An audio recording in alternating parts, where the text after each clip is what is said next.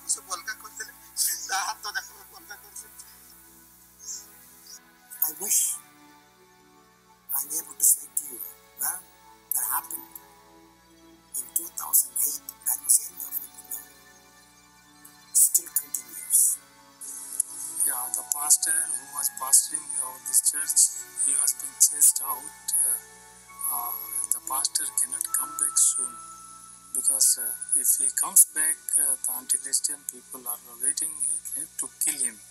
Even they have killed one of the believer of this church.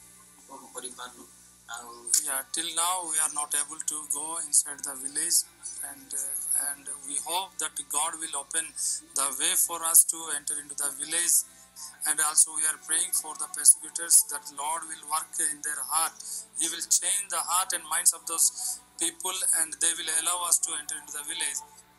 Or 14,000 believers are brutally murdered every year for their faith. Who are these people?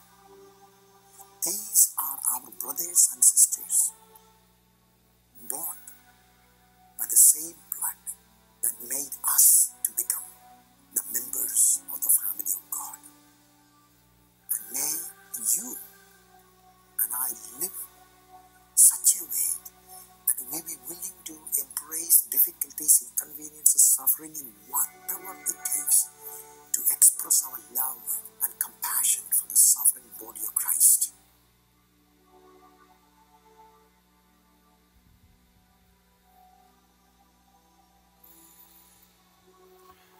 All right, so that's a pretty gripping story of what's been happening in India and, and the different persecution and, and the tremendous trials that are happening there.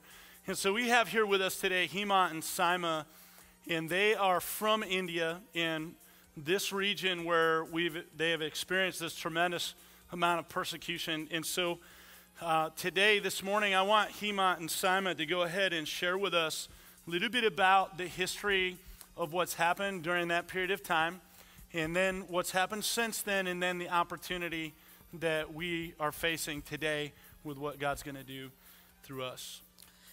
Hello, good morning, and good to be with you all today this morning.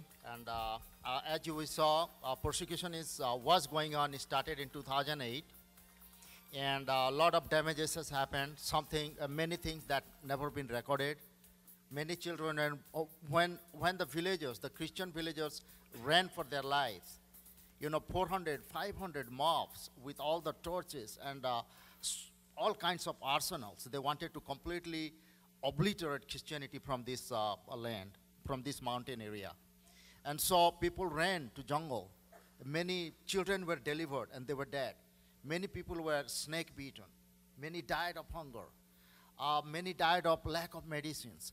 Many older people ha- having arthritis and all kinds of difficulties. They couldn't even walk, so they just died on the process, on the spot. People, uh, many people were killed. So that is the grim story. It's a real story, uh, and uh, we had the honor and privilege of uh, going through some of those places.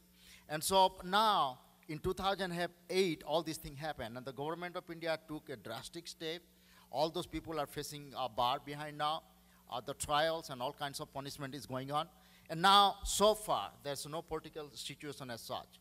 But thing is, the loss is a big loss, and that has never been reprimanded yet. And people, those who suffer, they're still kind of suffering because there's nobody to care, take care of them. Churches were shut down. For so many years, at least three to four years, the church bell uh, never rang. No Christmas, no Easter, no joy of being a Christian, except for these Christians that they were carrying the wounds of Christ for their sake, for Christ's sake. And so now uh, we are taking a group this year, uh, but Two Rivers been a big part of it. We've been watching your ministry, all of you, uh, supportive of Pastor Will, his wife, his wonderful family, such a dedicated family. We see their sacrifices. And we thought maybe we should try to plug in here. And here the opportunity comes. So next month, God willing, we are planning to go as a group. And we are going to minister to these people. We want to console them. Many of them have never seen a white person. They want to be touched, they want to be hugged, maybe kissed. Uh, we want to give them food for a couple of days. We want to invite them to a spot on our campus. We want to teach them, preach them. As such, they are the faith warrior. You know, their faith level is so much higher than us. I don't think we are going to increase their faith level practically. But thing is, we want to rejoice together. And we want to share something that God has blessed us here in America. $5.10. Uh, we've been thinking about all of you for today. Yesterday, you all have been prayed for. That's why you are here today. It's a great opportunity, dear friends, because this, your offering, your support, is going to sponsor one of those uh, uh, faith warriors. They will have, uh, will be traveling to th- three or four different locations. One of those locations are situated on the uh, very, very higher mountain up. There people half naked still. We want to share them the love of Christ. We will be inviting a lot of pastors, elders. We'll be teaching them. Now, for gathering all these people, we have a little bit of expenses. And we, as body of Christ, we want to share something. Your sacrificial giving will change and impact these brothers and sisters' life forever. That's right. So, so yeah, you can hold on to that. So, what, what we have together today, this morning, is this opportunity to, as a body of believers, if you look at your, your sheet that you were passed out, is, is titled the India Challenge.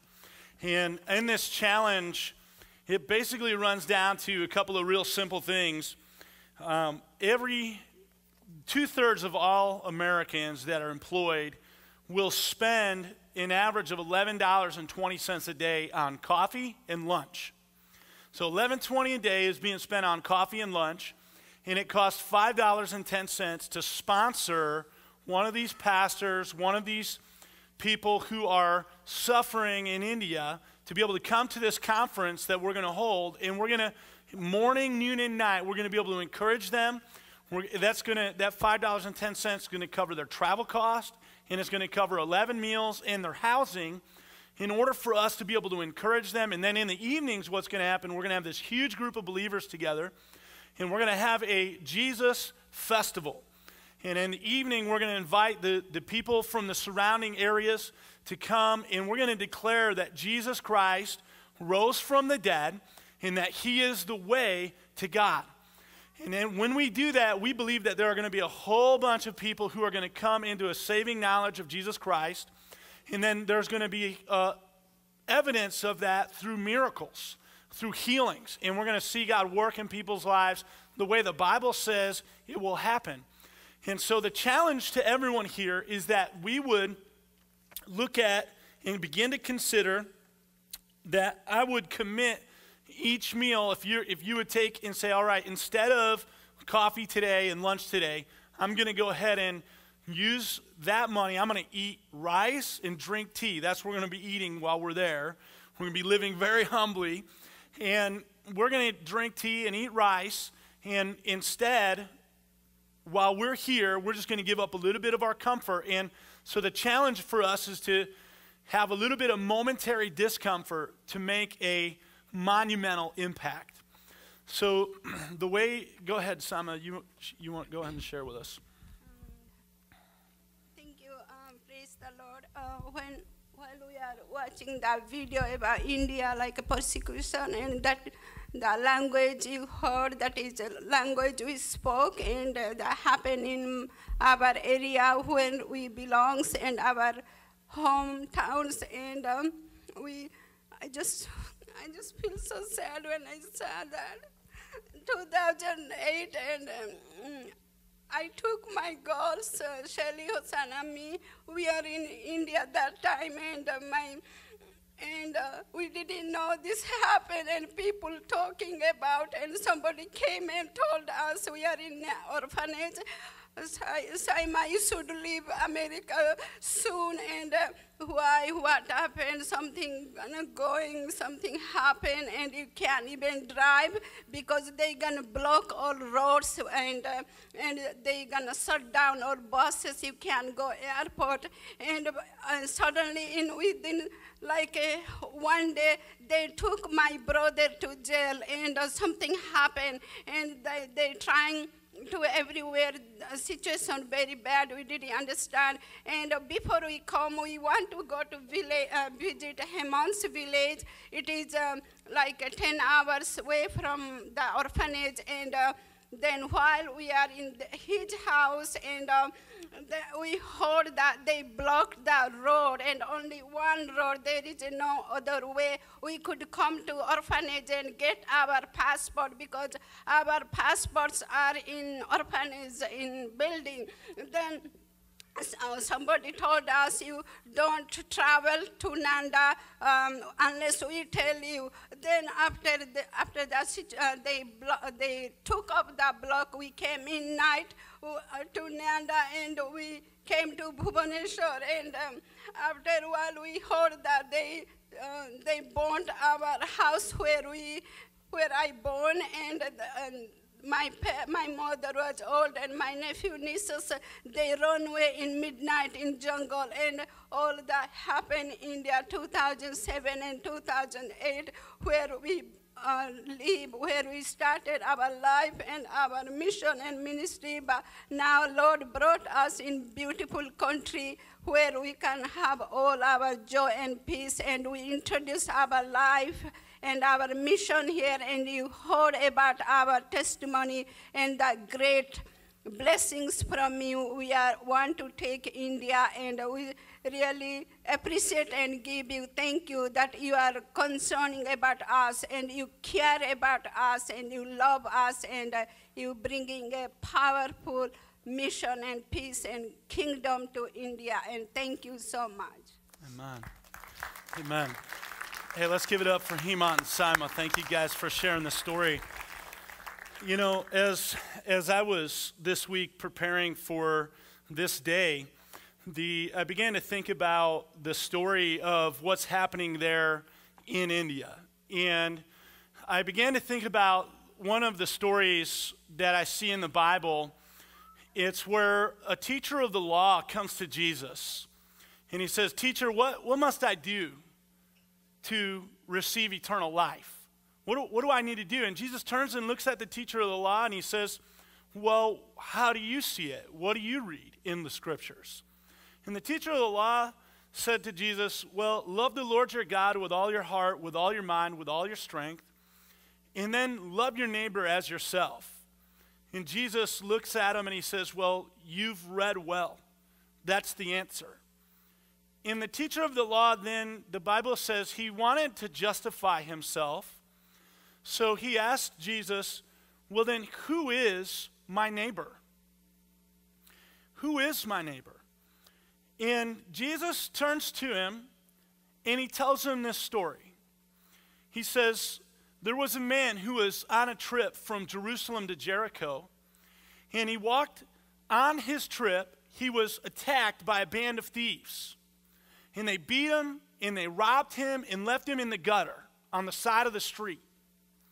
Well, a priest was coming down the road and he passed by him on the other side.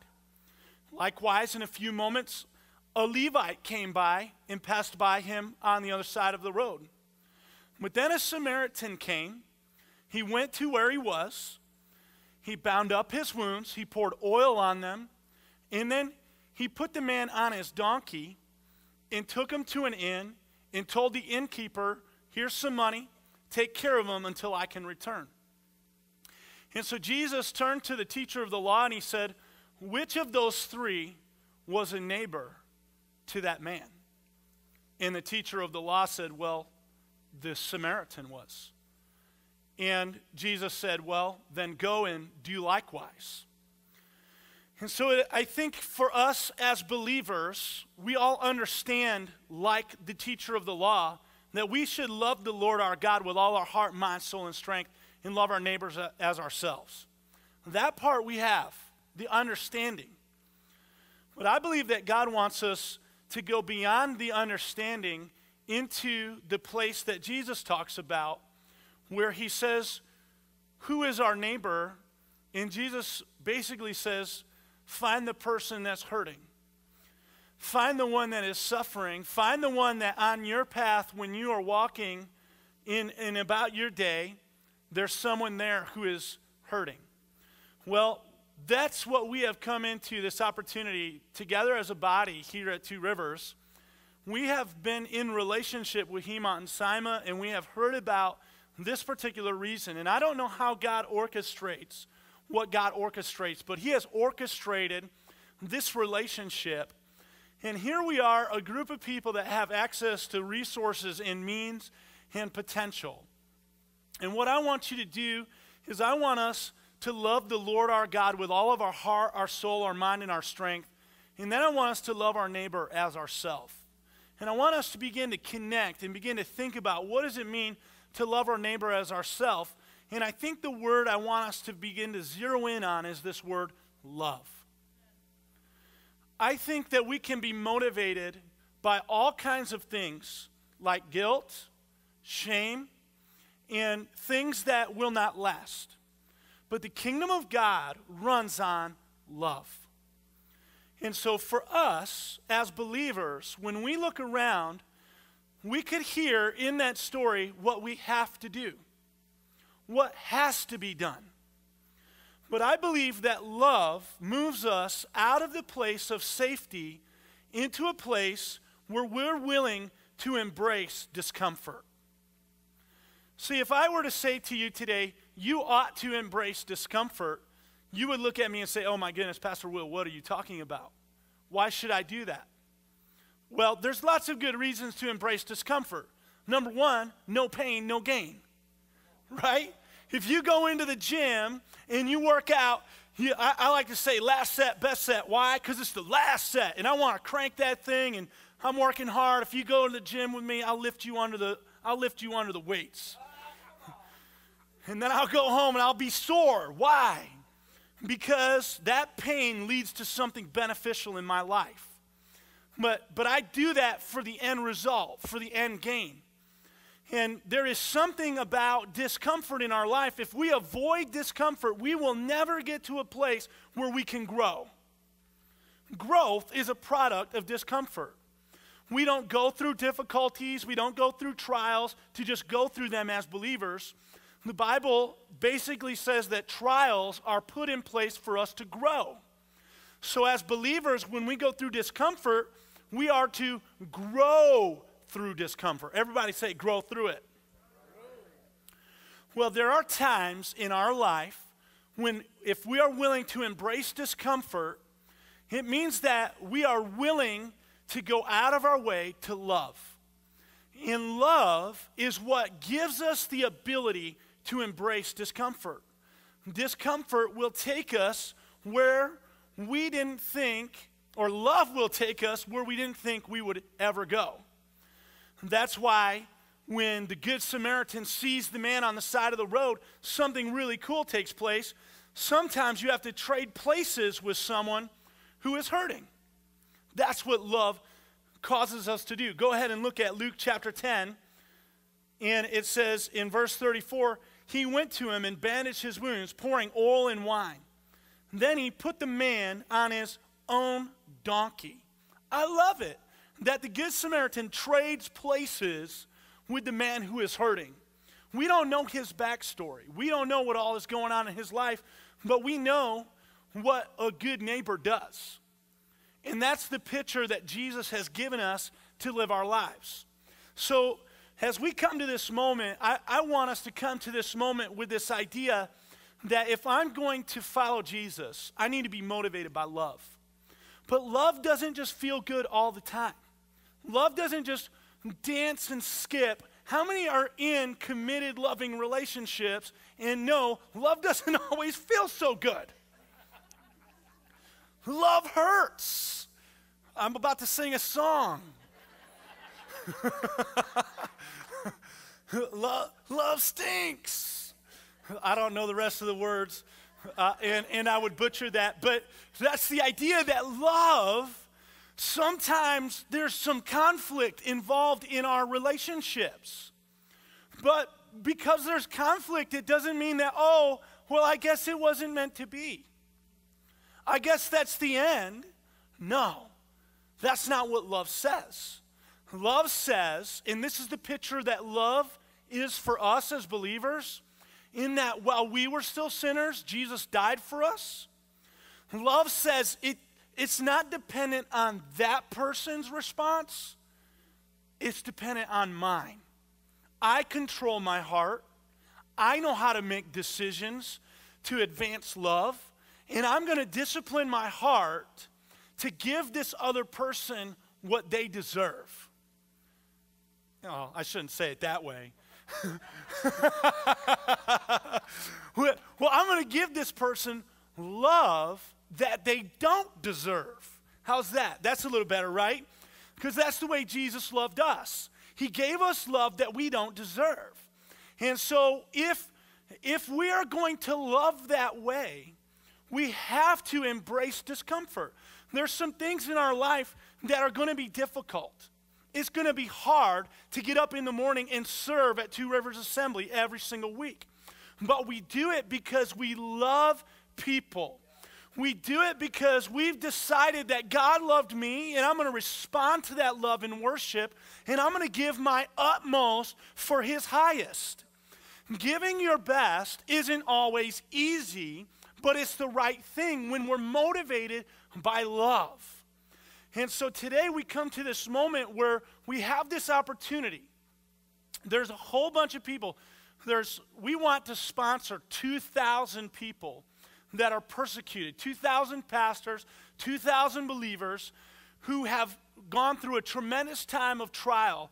But we have this moment where we're going to go over and we're going to have these this conference where they're going to come together. They're going to be encouraged. They're going to rejoice. We're going to sing together. And really, for the first time since the persecution, have open air gospel declaration meetings where people are going to come to know Jesus and the church is going to be set back on fire and know that they can go and be the Good Samaritan to everyone there in India, the people that hurt them, they're going to be able to bless. And so that's what we're going to go to do. We're going to go lift up the name of Jesus Christ to our brothers and sisters who are hurting in another part of the world. And so that's going to cost us. That's going to mean that we have to embrace a little bit of discomfort for a, por- for a portion of time. And with that, it may not at first sound all that exciting, but I want to tell you something. When you begin to embrace discomfort, when you there's good things that happen in our life. When I go to the gym and I begin to work out, at first it hurts, but you know what? Later on, look at this. Look at this specimen right? So, so there's good things that happen, y'all, and and that's that's what happens when we go ahead and we say, you know what? I'm going to move past my discomfort. I'm going to go. I'm going to take. I don't have to. I could be like the priest. I could be the Levite. I could walk on by. In fact, that could be a big inconvenience to their day. And we don't know what the Good Samaritan was up to. He might have had a really important meeting that he was headed to. But he was willing to get off of his donkey, in another way of saying it, in the King James Version.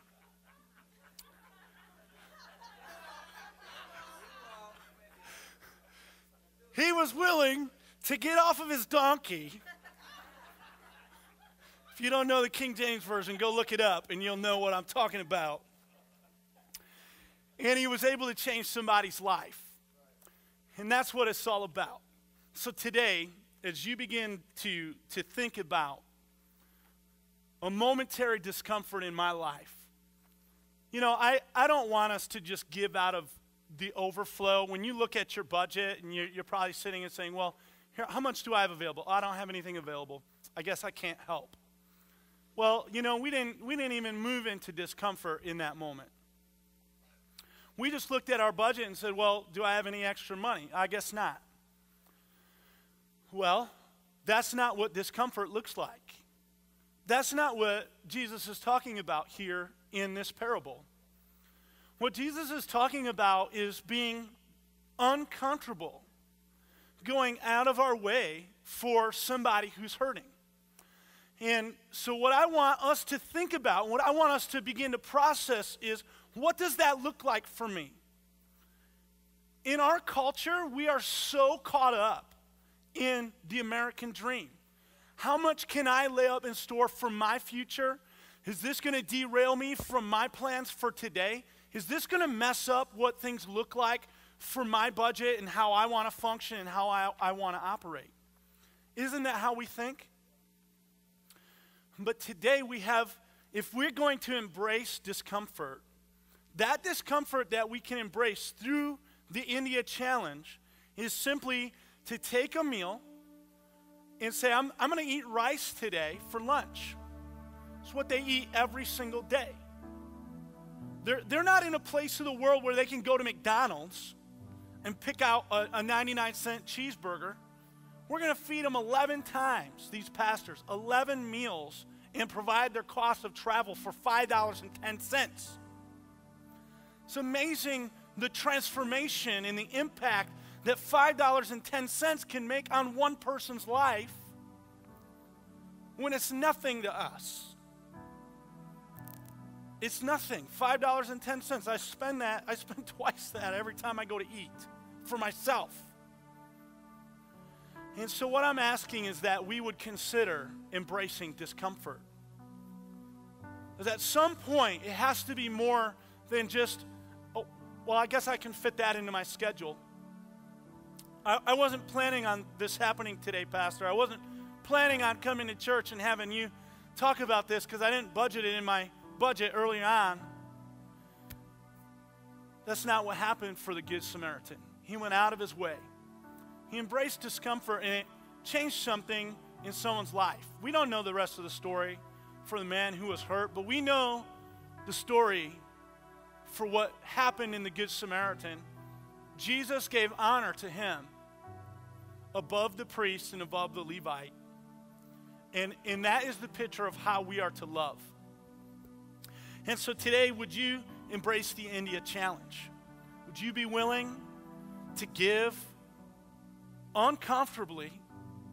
Some of you will go ahead and say, I'll do all 11 meals. I'm going to do it. 11 meals. Every time I do that, I'm going to text $10.20 in and just be done with it. Or some of you are planners and you'll, you'll give up that and eat that rice and drink that tea.